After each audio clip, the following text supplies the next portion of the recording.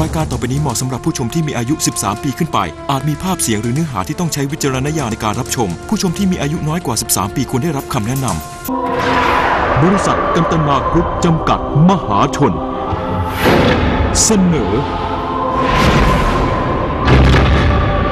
บันทึกลึกลับ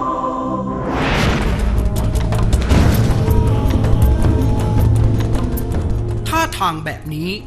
อาการอย่างนี้ เขาคือใคร ปรากฏการณ์ลึกลับปาฏิหารย์ตาพรานบุญ